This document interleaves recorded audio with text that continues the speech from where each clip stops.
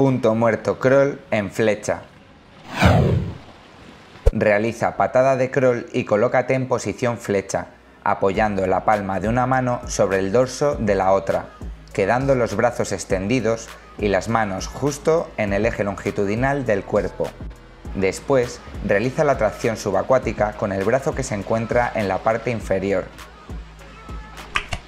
Inspira lateralmente por la boca cuando un brazo esté realizando el final del empuje e inicio del recobro, manteniendo el otro brazo extendido, e introduce la cabeza en el agua un poco antes de que la mano entre en el agua.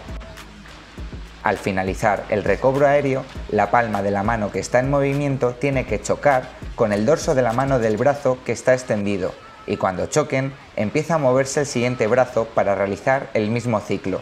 Intenta que las manos no sobrepasen el eje longitudinal cuando estés realizando la respiración y cuando juntes una mano con otra. Este ejercicio te ayuda a evitar que hundas el brazo que está extendido en el momento que realizas la respiración o el recobro aéreo con el otro brazo. Aquí tienes todos los ejercicios para mejorar crawl o puedes ver el siguiente vídeo.